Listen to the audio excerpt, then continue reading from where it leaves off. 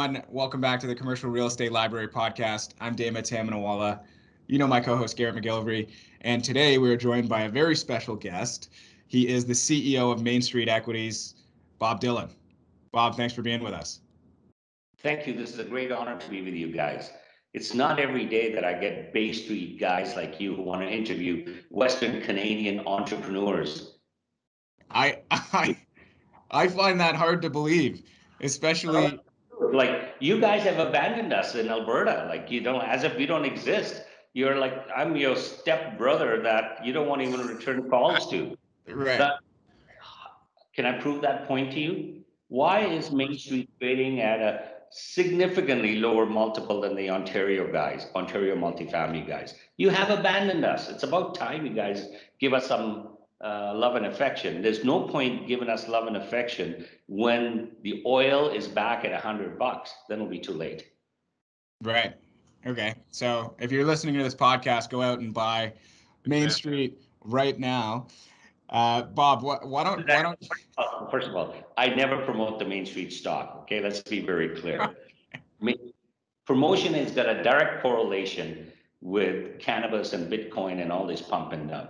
If you want to invest in a bulletproof business, Mainstreet is a great story. Or limited down, limited downside risk because of the asset class we traded. Fair enough. I don't mind uh, the cryptocurrency stuff, as as Garrett knows, but nonetheless, uh, Bob, can you share a little bit about Mainstreet and you know why why should people be talking about your company? What for the for the few people who don't know about your company what's what's going on there?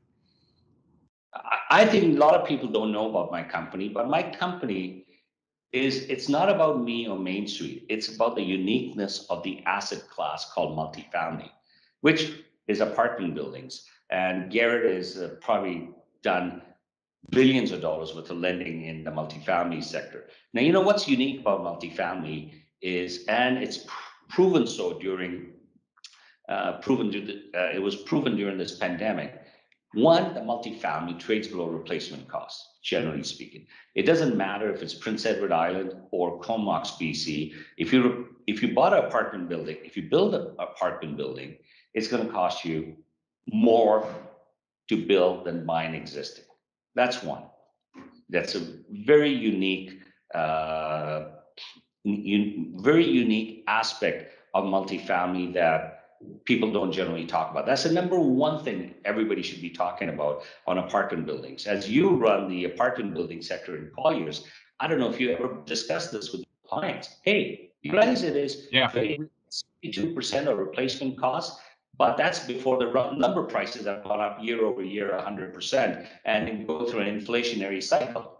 You talk about cap rates and you talk about this and you talk about demand, uh, but you don't talk about the most important thing is replacement cost. I think that's number one. Number two is a future uh, future um, trend line. Everybody's looking for what the trend line is. The trend line on apartment buildings, as you know, 2.2 million apartments, purpose built. I realize condos go into the space as well.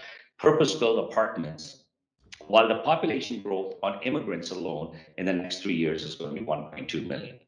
So total supply 2.2, let's say a vacancy rate of 200,000 units and 1.2 million uh, immigrants coming. Just like your dad and my dad, we were both all immigrants who came to Canada. Um, and um, low replacement cost and demand supply anomaly. Now that's before foreign students. 2019 census, I think, said 756,000 foreign students. Now, if I was a betting guy, most of them are renters, right? So we hit close to 2 million demand and supply of 2.2 million. Then below replacement cost. Now, the biggest driver that nobody talks about. Like I'm going to pause on the uh, my biggest driver and talk about why I'm focused on this narrow niche called mid-market apartment buildings. All your other clients, Garrett's clients and your clients are probably REIT guys or you know building these new buildings and they're chasing a certain segment of the market, which is 20%. My segment of the market is 80%, which is the smaller buildings. My second part of my segment is Western Canada, Winnipeg West. And third is my average rent is below a thousand dollars. Why is that important? Because 73% of Canadians make less than $50,000 a year. Mm. You guys are chasing Ferrari dealerships. I'm chasing all the other dealerships in Canada, you know. Uh, so the market is 73% of Canadians make less than $50,000 a year. I realize as a husband and wife work, uh, you know, combine income higher and, and lots of things. I know there's a lot of variables, but the macro numbers are so big. Supply, demand, anomaly, and um, below replacement costs. And the unless the incomes go up, the double in the Canadian household, I think uh, it is a pretty safe. All apartment building players across Canada are. Uh, it's a safe investment.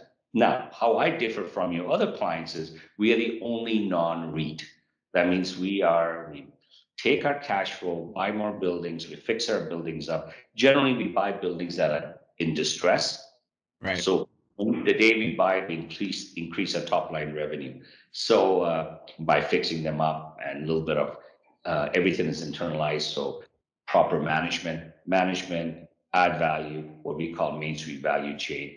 And again, one of the uh, competitive advantage we have, not Mainstreet, uh, the market is Western Canada, mid-market add value. There's limited players.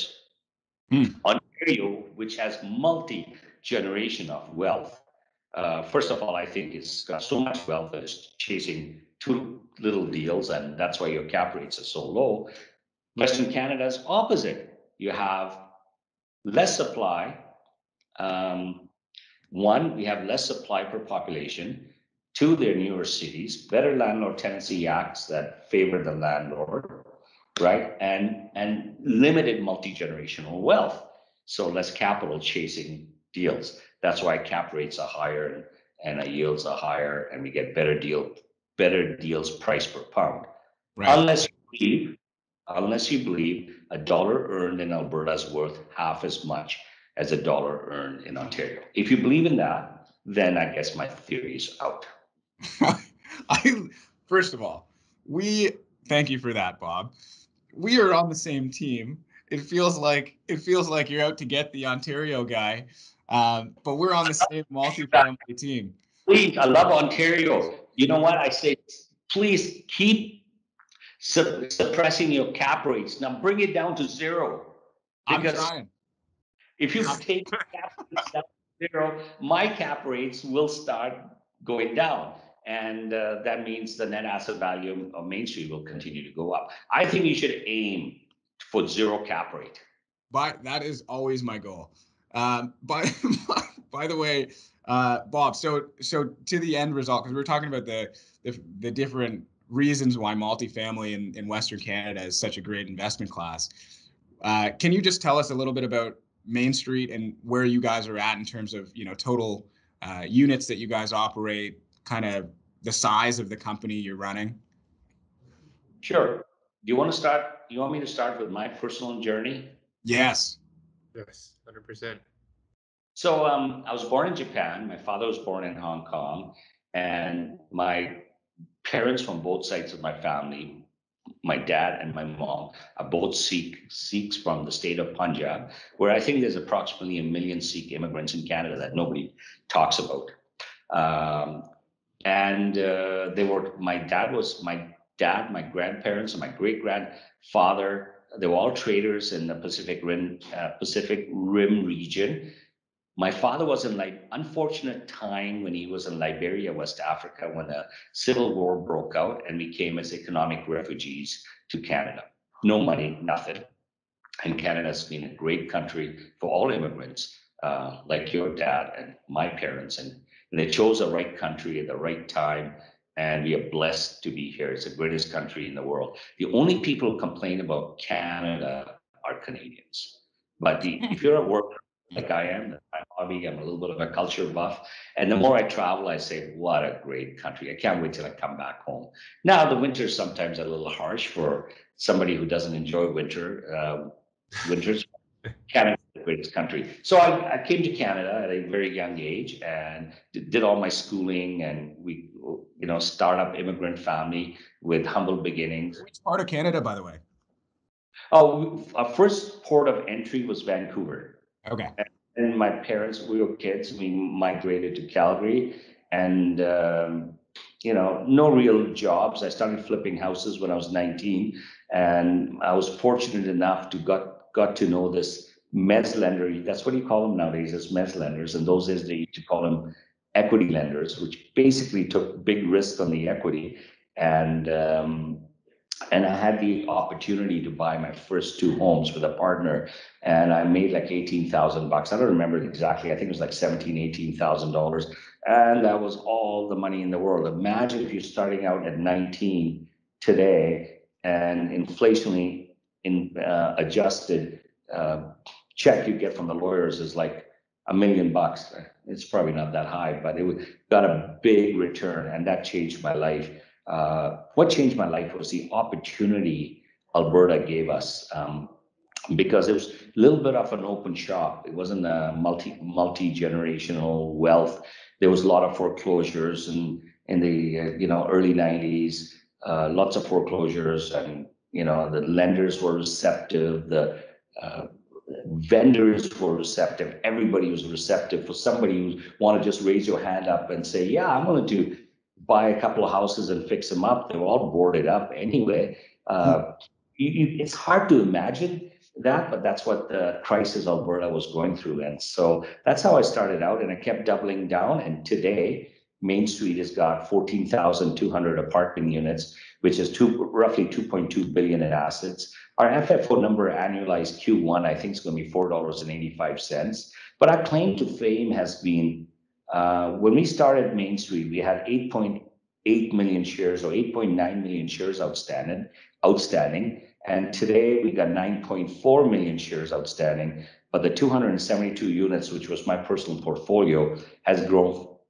from 17 million to uh, 2.3 billion on a testament to our business model. And what, what is our business model? Is adding value. So we are not financial engineers, and I wish I was, but I'm not a financial engineer. What I am is I'm a creator of value, and I'm a creator of improving lives of middle class Canadians. So we take these buildings which are in very rough shape, and we spend money, renovate them, and we increase the top line revenue by sometimes as low as 15, 20% to as high as 40%. But it takes a while and it takes a long time to uh, stabilize these buildings. But we are fortunate that we are in a land environment of Landlord Tenancy Act, which is a lot more favorable to the vendor uh, than they are like in Ontario.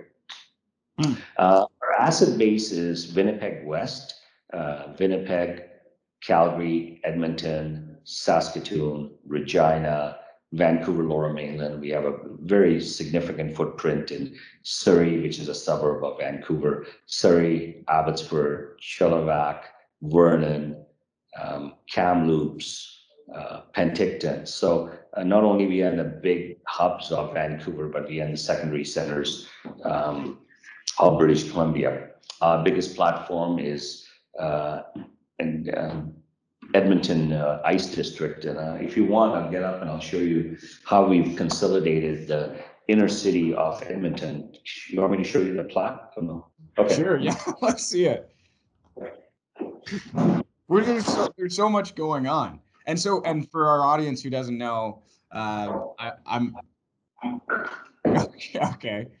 Wow. You look at, that is imagine, imagine owning Yorkville and this is a bigger area than Yorkville, but just imagine this. But you cannot own Yorkville today, but you could, could have been 40, 50 years ago. So downtown Edmonton, called the Ice District, was going through a transformation. Transformation um, is new LRT lines, expansion of the colleges and universities, the new arena, just like your Canada Center, uh, um, entertainment district, museums, hotels, etc. Um, it was all going through the transformation. But before the transformation began, we, we bought it all. Here it is. Every purple dot is our building in downtown Edmonton. I think I'll give you a it's on our website as well, but I would like to give that to you. So one thing Mainstreet will be remembered for in the future is how we consolidated inner city areas in our geographic platform. That is nuts. For those listening just via audio, uh, Bob was showing us a map of of a part of Edmonton where he's got 139 properties, 4,300 units. That is Yeah. just staggering. It, it's not uh, a part of Edmonton, it's downtown called the Ice District. The Ice District. Can we? So I feel like we skipped a few steps there, because at one point you said you said you had built up a portfolio. Can we talk about how you built up your portfolio uh, up to 290? What did you say? 292 units? 272 units. 72. Yeah. Like I said, I was flipping homes when I was 19 and uh, right, uh, you know, right through my MBA degree, I never had a job. I've always flipped uh, real estate and and that's not only in in Canada. That was, you know, I was uh, developing real estate in Belize and all these places. I had a love and passion for real estate, and I saw. I used to always find the inefficiencies in the marketplace, and we said, okay, this this segment is, you know, underutilized, or there's less uh, buyers, or you can add value to it, so forth. And that's how I discovered the country of Belize as well. Um, so uh, yeah, I went through it, my journey, started out flipping the first two homes and went and I, and I flipped a lot. So I wasn't holding uh, the 272 units like you. It seems like it wasn't a holding pattern. It was it was like a revolving door. I was like a merchant of real estate. You know, buy, sell, add value. But at one particular time, I had 272 units, and that's when I did a what we call on the Alberta Stock Exchange is a JCP, and now it's called a CPC for all the wrong reasons. This is an interesting story. Um, all the wrong reasons we bought, um, we went public, and I did an IPO for one million dollars. Sounds strange, yeah, but one million dollar IPO, 272 units, and I went public. The day I went public, In the year 2000, right? uh, don't quote me on the years, but I'm going to try to keep the story at a 30,000 foot level. So the day I went, the day I went public, uh, the real estate index crashed. Uh, I don't know why it did, but it did. And then I, then the Asian crisis happened. Um, you know, the meltdown in Asian crisis. It's probably before your time. You can probably research it. Then, af- then the tech bubble in Nasdaq collapsed. Then a new phenomena happened called the REITs. Now, why that's different, why that's interesting is historically, real estate was in the ha- hand of family offices, rich people, uh, entrepreneurs like me, that who, who ran the real estate. But these new guys came on the market uh, called the REITs. And what we didn't realize, if people realized then 20 years ago, 15 years ago, that the REITs have an endless, uh, um, what do you call source of capital. They can continue to keep uh, going back to the market and raising. Nobody would have sold to the REITs. Everybody said, "Oh, you just want to give me a cash offer for hundred million dollars? Where do I sign?" Right? It, it it wasn't. You were dealing with very sophisticated, uh, astute real estate entrepreneurs for the REIT market. The REIT guys who had endless sources of capital. So that turned the market inside out, and it took they started consolidating from storage places to office buildings and apartments was one of the uh, one of the areas. So that was a unique uh, switch, which which it took me many years to figure out that there cannot be endless source of capital, but it has been endless source of capital. So I had to create a business model which was different from the REIT. If you want to invest in the REIT market, you got 40 odd different companies you can invest in um, I don't know the exact number, so just stay with me. And I was the only, I said, I'm the only non-REIT. So if you want a dividend or a distribution, you got these guys. If you want somebody to compound your wealth, I'm your guy. So I got zero attention for a longest, you know, like, uh, you know, uh, longest time. Nobody wanted to even pay attention to me. So I'm getting a little bit of attention right now with 20 years on my performance where put on the front page of my annual report. So here's my performance. I think the next big step for Mainstreet is critical mass. You know, I go from 14,200 apartment units to 20,000, then I'll become a serious player. But right now, I'm still in the world of real estate, a small guy. But that gives an opportunity for um, investors uh, to get in on a uh, on a discount basis or something that's trading below net asset value or something that trades at a higher multiple because it's a bigger company. Right. I like how how you comment that fourteen thousand units is, and you're still just a small guy. For me and me and Dama are still in the single digits with the units that we currently own. we're, we're very small guys. You got it. We're just compounding. We're just Yeah. starting. Pounding, working it. Another 20, 30 years. We'll see. And and and how did you go from the one million dollar that one million dollars that you were raising in the in the market uh, to then having fourteen thousand units? Like what?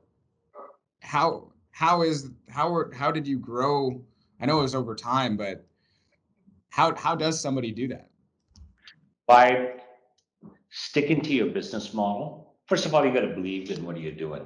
And the math I gave you, I saw I saw an inefficient segment in the marketplace. Western Canada mid-market adds value. And that's my mantra. I'll keep telling you this and again and again.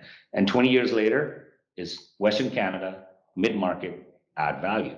So you buy these buildings, you fix them up. It's a need. Like I said earlier, 73% of the population makes less than $50,000 a year.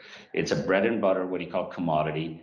And you and you buy, consolidate. Now, the, how the business model has evolved is by clustering these areas, becoming a dominant player in inner city Calgary, like I showed you, uh, Edmonton map, and we have, you know, probably the biggest landlords in Surrey. Sorry, go ahead.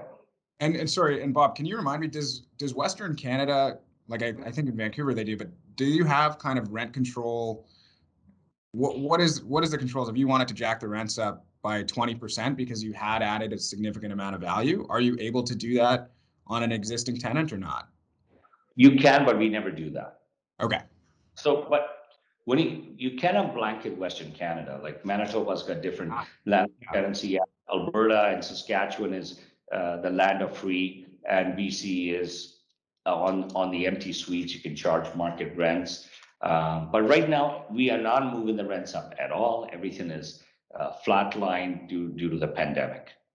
We are um, our customers, which first of all, we have no tenants. We only have customers and we provide a level of service in our segment that is non-existent. Our customers' health is number one and their well-being during this pandemic. Okay. Um, and I I actually still have a, a number of questions, but Gary, you can go ahead if you. So, so, so yeah, Bob, for the for the people that are listening that might not necessarily have quite a handle on sort of how things are done out west, um, a lot of our viewer base are, are obviously more so based in Ontario. Um, what is the difference in your mind between sort of you know investing in the western markets versus the eastern ones, specifically for multifamily? Um, let's talk about different uh, time points. Let's talk about today. Um, Alberta, Saskatchewan, well, BC is a different world, but let's say Alberta, Saskatchewan has been beaten up pretty, pretty bad in the last few years because of low oil prices and and we've had a growth that was accelerating from 2000 to 2014 at a pretty rapid rate, and then all of a sudden uh, things slowed down. And so um, access to capital was tougher and so forth. And in return, our valuation came uh, a lot lower than Ontario. So Ontario, you're trading at a very low cap rate, and Western Canada, meaning Alberta, Saskatchewan, and Manitoba to a certain extent, is trading at a higher cap rate. So, like I said earlier, is a dollar earned in Western Canada, excluding BC, Western Canada is worth less than a dollar earned in Ontario. Then the second question some of these, some of your viewers would comment on is, well, maybe we have capital appreciation that's going to be a lot faster in Ontario than Alberta, Saskatchewan. My answer is we are, you're already trading at a much higher uh, public market REIT multiples than our Western Canadian companies. So that's the second. And the third one is a simple finger math on price per pound. So what's the price per pound in Ontario? You take the price per pound in Calgary, Edmonton and say, okay, this is significantly lower, the yields are higher, and it's almost the same product. Then you look at growth. Well, fine, capital appreciation, maybe there we won't get the capital appreciation. Now you're convinced because you've already had such a great run and nothing trees don't grow to the moon. So you get uh, you got to look at growth, right? The Ontario growth will go to the moon, and it may happen, but then you look at the Stats Canada numbers that year 2020, 2020, our population surpassed per capita Ontario's population growth. And our population the last four to five years in the recession has been compounding. So it is kind of, um, I don't understand um, why the discount is so significant from Ontario to Alberta, Saskatchewan, when our population is growing and we have lots of other things happening, like the lowest corporate tax rate, um, our economy is coming back, our population is coming back. Why is it? Why is that discount? That's an answer you Bay Street guys can tell us why the discount is so significant. Um, but my hunch is the driver of Alberta, Saskatchewan, and British Columbia is going to be affordability. Hmm. Nothing else. It's okay, you know, when 73% of the population makes less than $50,000 a year and you're in Ontario, you can't afford to live there. What are you going to do?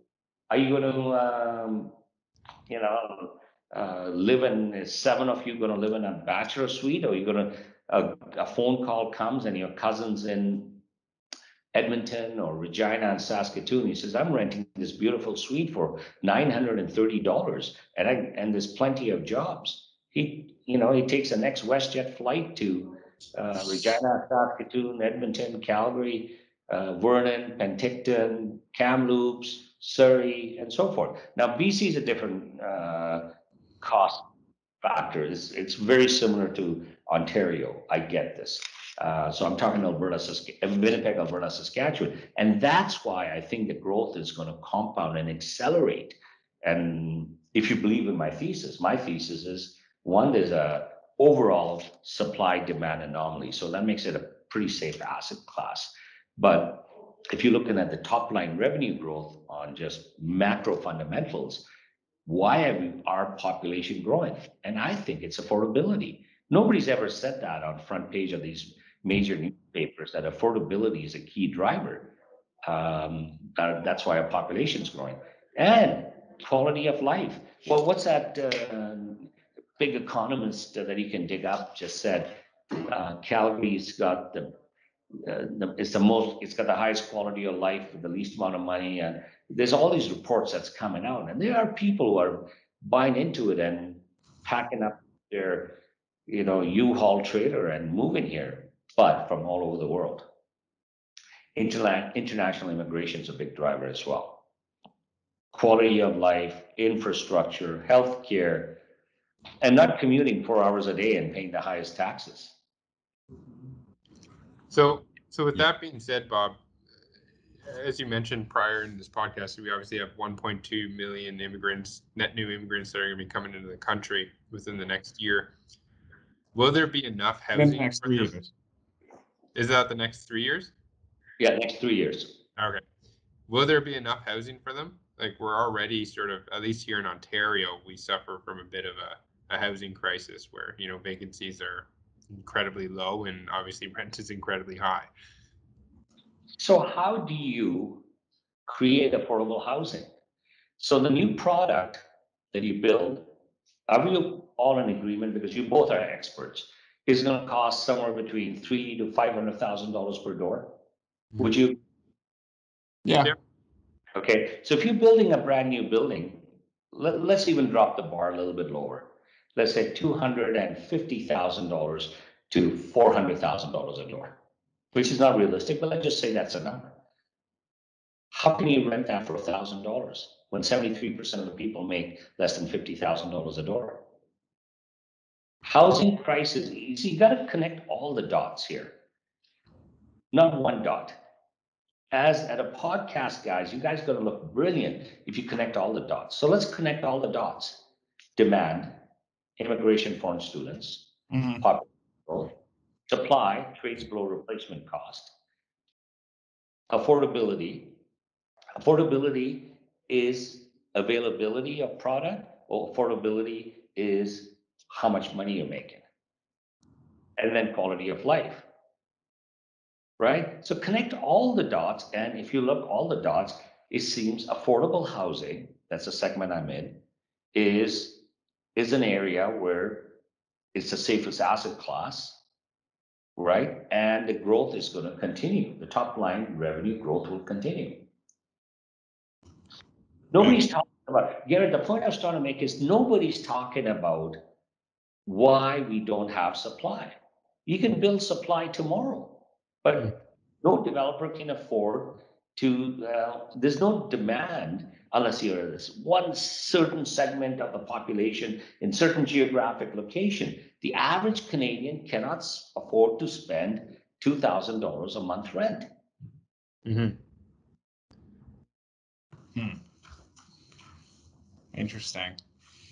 So, and and one other note: does the uh, does the inflation kind of does the does inflation factor into your thesis at all?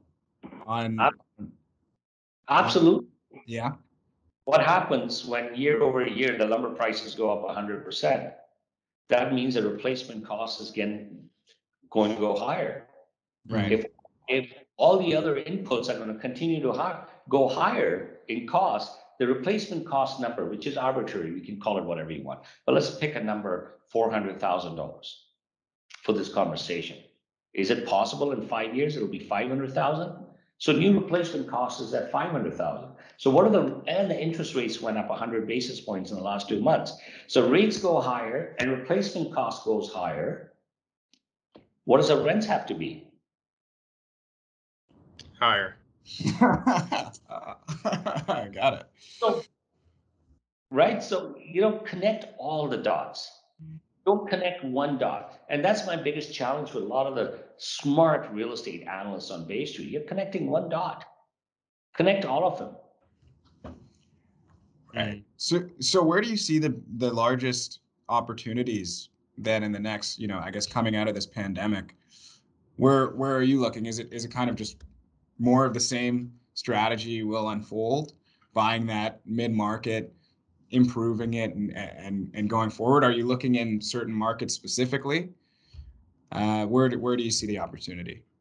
During the pandemic, one of the things I learned that this is the most resilient and the safest asset class. Point, March collections, this March, collections was ninety-nine point four percent. Which business gives you that kind of a collection rate? So why switch lanes? Mid-market, add value, Western Canada. Why mid-market? Eighty percent of the market is mid-market, which is a smaller building. Why Western Canada? Because there's so much wealth concentrated in Ontario that you guys are chasing the deals to two cap rates. Yeah. Add value, all the universe is forty to seventy years old, they all need tender loving care. One journalist quoted me on this newspaper yesterday, and please get the article. I'm a little bit like a plastic surgeon, you know? Like these older buildings, we give them little, you know, makeovers. hmm And you said, uh, even our prior chat, that you have sort of a an innovative supply chain when it comes to you know how you do these surgical maneuvers on the older buildings to fix them up. Garrett, you're so articulate. Yeah, um, as our part of our business model on the Mainstreet value chain, renovation beyond the maintenance renovation, just, you know, repositioning these assets and giving them uh, to Mainstreet spec and improving the life of middle-class Canadian. What are we always looking for as CEOs and senior management team is how do we bring that cost down? And so one way we've brought our cost down in the renovation aspect is the supply chain logistics that we've done with factory direct from Asia. So kitchen cabinets leave Asia and they come to warehouses, no middlemen, factory to warehouses. Then our contractors go put them cabinets, laminate floors, tiles, whatever um, we need. So we got warehousing on our own land. So we're not renting space and you know increasing our GNA in most of our uh, most of our hubs, which is Surrey, Edmonton, Calgary, Regina, Saskatoon, and containers come and we fix these units up. So that's one of the, um, I think, innovative uh, things, the supply chain logistics, which took us 10 years to create that we've done. So we're really proud of this. Now, pandemic has slowed down our container movement and efficiencies and I don't know about my peers, but as us as Mainstreet, we are not as efficient as we were pre-pandemic. So, and hopefully we'll come back to that efficient cycle um, post-pandemic. Can, can you tell us about that renovation plan? What what is the typical Mainstreet renovation plan when you guys buy a building and every building's different? But you know, do you have a, a first step a first thing that you're doing? Are you are you putting a Mainstreet coat of paint on the outside? You know, how, can you take us through that process? Yeah, what I would encourage you both to do is to go through a video library on our website because picture is the story is better told visually than me, but I'll try to make an effort. We have a Mainstreet spec, and I like what I like to call myself is we are not Four Seasons, we are Holiday Inn Express. We have a standardized spec for rents less than a thousand dollars, which is laminate floor, new bathrooms, new kitchen cabinets, and we have a certain spec that in our segment, don't forget, we are not Four Seasons, we are in the mid-market space. I think we provide the best product. Dama, have you heard of anybody that's done that sort of prefab factory to to direct um, for the uh, for the value add stuff on your end? No, I think it's an uncommon uncommon approach. Yeah, I haven't heard about that either. That's uh, it is interesting. When you have Yeah, the but- scale, I guess you can do it. One of the biggest segment, cost segment of multifamily is renovations, maintenance and capex. So, you know, we saw that and we di- dissected it. And we said, okay, how do we bring costs down on every line item? Don't forget, majority of the costs are fixed costs, property tax, insurance, utilities. You can only move the dial on utilities so much by energy efficient lights and uh, Mainstreet was green, green was popular and we had all these things. But the real costs, if you are in the business of repositioning these assets, the real cost was, is renovations. It's a big number. So how do we improve and provide a better quality of life for middle-class Canadians making less than fifty thousand dollars a year? Is by improving their space. What what does it typically cost on a per unit basis? Difficult question to answer because you're in so many different markets and a very efficient platform. There's two different segments, but let's look at the box itself. The box is a suite, the four walls. Let's assume the average square feet is uh, 700 square feet, okay? Because we have townhouses, we have concrete high rises, we have every segment. So 700 square feet is costing $6,000 per door. But that's excluding hallways, boilers, windows, roofs, exterior, but that's just the box itself. So what we try to do is, uh, our wish list is we buy buildings with great bones. And then we try to improve the boxes inside to improve the quality of living for most Canadians. And then we provide, and we provide ser- uh, other services like security, uh, camera, twenty-four hour service, a resident manager, concierge service, phone call, call centers. Don't forget, my competition is a fragmented mom and pops. It Yeah. is not big, um, luxury, um, companies who own thousands and thousands of units. Mine is, uh, Joe the plumber, who happens to own a forty unit apartment building. That's my, com- that's my competition. And like having digital media, websites, services, maintenance, security. I don't think anybody can provide all that. And if they outsource it all, then what happens is your margins um, drop significantly. Right. Interesting. By the way, six thousand dollars per suite is so good. I mean, that is uh, that's that's really impressive to, to and and and I'm I'm sure they're fantastically uh, renovated units too. So, Bob, is there is there anything that is there anything that keeps you up at night that you're that that you worry about in the industry or in some of the markets that you're in that that you say, wow, if, if this happened, then that's that's not good. It it it's been uh, what kept me up at night is there's new things, new crisis that happens all the time. Like I told you when we started out, we have the real estate index crashed, the tech bubble happened, the REIT phenomena came whose cost of capital was significantly lower, interest rates go up, oil prices drop, pandemic happens, um, government regulations on uh, landlord tenancy act, uh, carbon tax, property taxes, who would increase the property taxes during this pandemic? We had a property tax increase of, I don't know, twenty percent. Insurance goes up. I'm up, it's like every day that crisis that you're dealing with.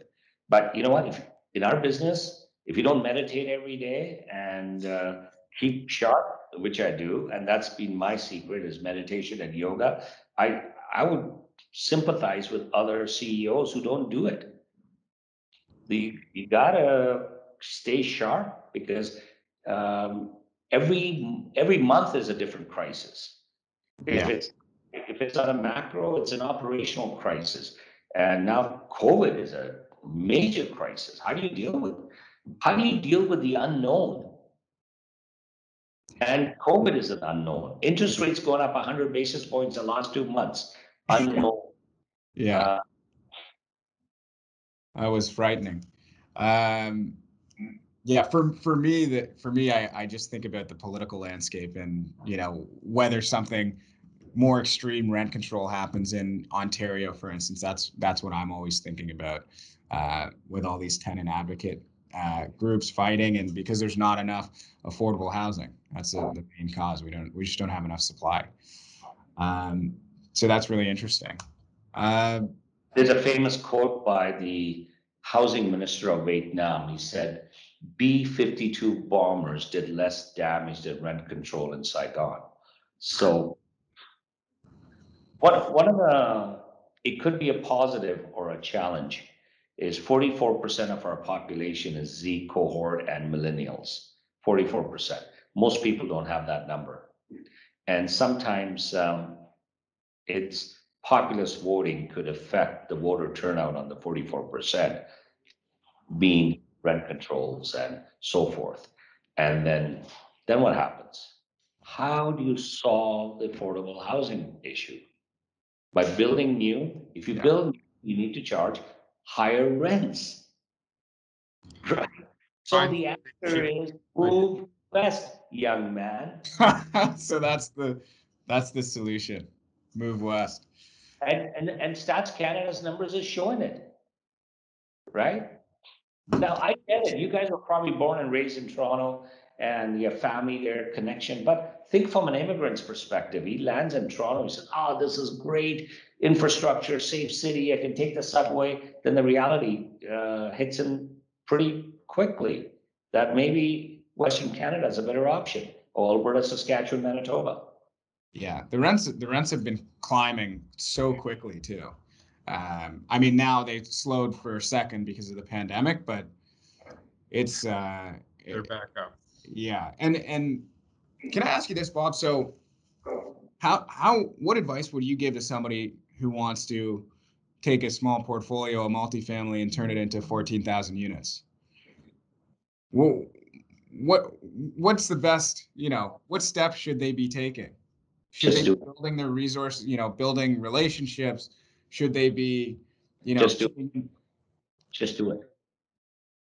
boom? There you go. Boom. Get out there.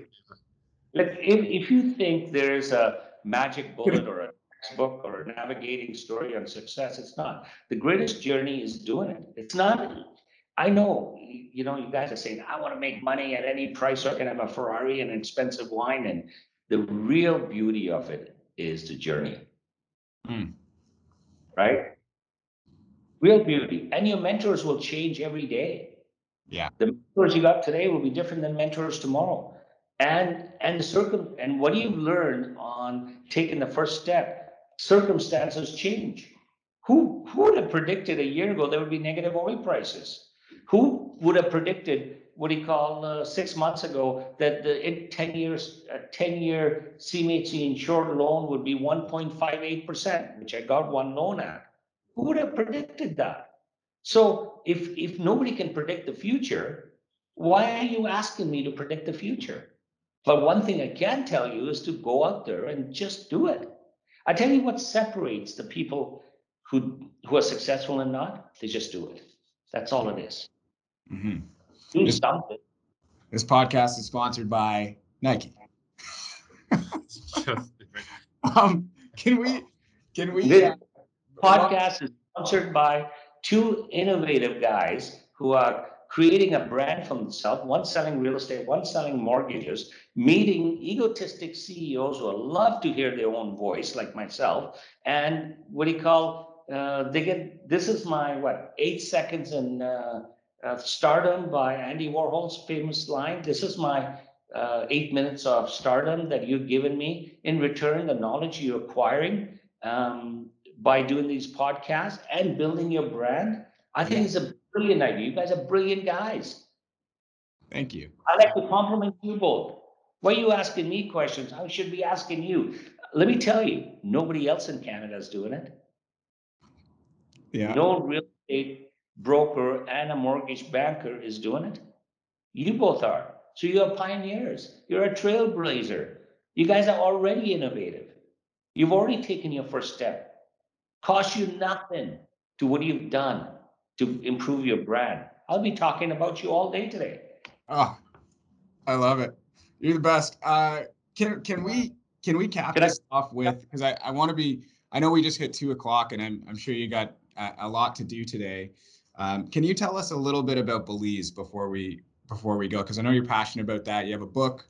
You have a second edition of a book about that. I tried to read a little bit of the uh, a little bit of it before this podcast. Can you share a little bit about Belize and your history there? Sure. Um, Belize is again an opportunity. And let me walk you through the opportunity. Some of us like warm weather. It's right on the equator. Some of us want to want to have a second home or do business in an English speaking country where it's English speaking, the legal system is the same as Canada under the Queen's rules, where the population is not overcrowded like other parts of the tropical areas. Um, so population is four hundred thousand. If you like the best beaches in the world and the best seafood and at ground zero, like most of the Caribbean is somewhat fully valued and it's expensive and is at ground zero. So I was, I look for these nuggets uh, all over the world and Belize is the perfect uh, para- tropical paradise, English speaking, common law, same land title system, no capital gains tax, no foreign ownership restriction. Beautiful. Hundreds of islands, mainland. If you like the jungles and if you want to go into the rainforest, or if you like the largest live reef, second largest reef, reef, but the largest live reef, fresh seafood, healthy beaches, nicest people on this planet. There's only one one thing I request all your viewers: go to Amazon and buy this book, "Doing Business and Retiring in Belize" by Bob Dhillon. Please do yourself a favor. It's an eleven dollar investment. It may change your life. Dave, I, And, I and, don't, and also, where else can you buy a waterfront lot? Like, don't quote me on what the, the range of prices are because they're all over the map. And I'm not promoting my real estate in Belize. I'm not.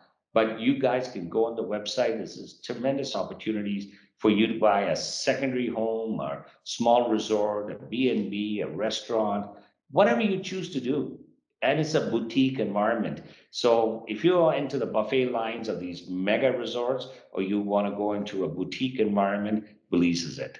I've actually been to Belize. I did a, a one week trip there. And for the people that don't know, they also have some of the best food um, available there in contrast to the other uh, Central and South American countries. Uh, they actually have the uh, the Amish are the ones that predominantly farm a lot of the food there, which was a very unique and interesting thing that I found when I was there. That you're you're going through Belize and you know the traditional individuals that are there, and then there's just you know swaths of Amish people, or might have been Mennonites, one of those two different categories. Yeah, which part of Belize did you go to?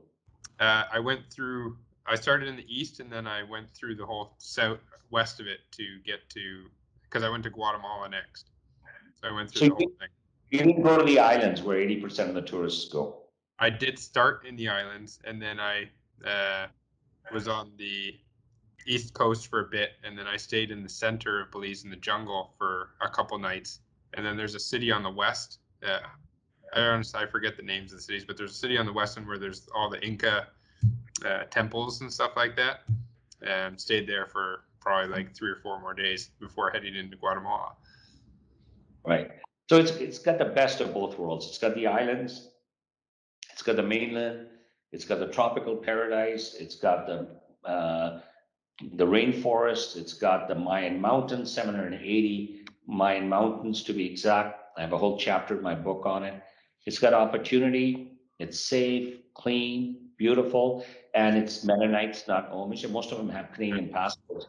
They migrated a long time ago. I got a chapter on the Mennonites of Belize, which is farm to table food. That's what you're referring to. Great food. I feel I've been missing out. We'll go Uh, next year, Dama. I'm I'm down. We can have the company retreat there. Uh, okay, so uh, and just I think we could carry this on for for the next five hours, but um, I just want to be conscious of everybody's time here. Um, but did, did you have any any further questions, uh, Garrett, or before we? Okay. Um, I think. I think I, I feel like I we we might have discussed this already, but I'll just ask you one last question. Um, what what if you had could only give one piece of advice to you know somebody who's who's 30 years old uh, who's a 30 year old building their career what what would it be Just do it. what a, okay what a, what a great place to end the podcast uh, bob thank you so much